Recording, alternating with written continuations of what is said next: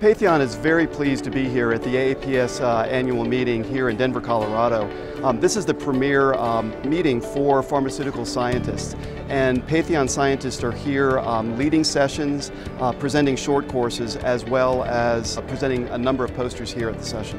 Patheon's goal is a healthier world delivered, and basically our objective is to simplify the supply chain by providing an integrated suite of services, which includes um, both large and small molecule API production, um, oral and sterile formulation development, and clinical and commercial manufacturing.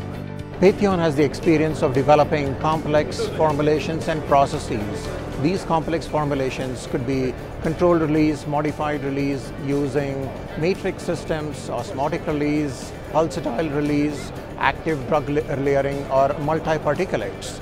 We can also develop pediatric dosage forms or fixed dose combinations. These fixed dose combinations could be multi-layer tablets, bi-layer, tri-layer tablets, uh, as well as tablet in tablet or other multi-particulates in capsule dosage forms. Patheon's goal is to provide the best technical and scientific solutions which add value to our customers' products.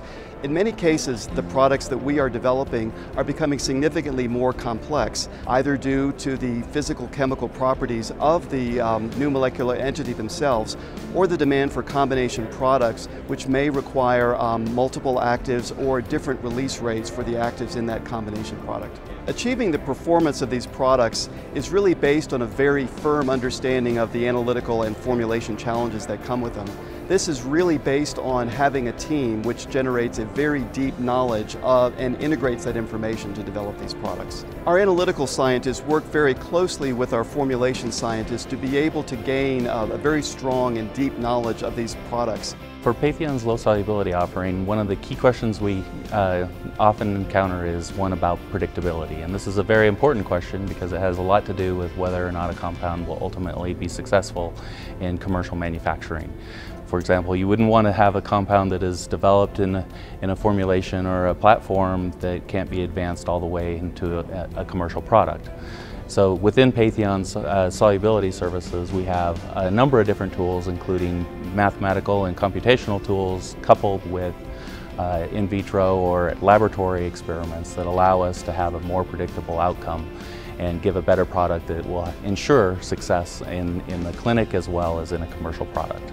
Development and manufacturing of these important therapies is really based on a combination of our analytical formulation scientists and process engineers working together.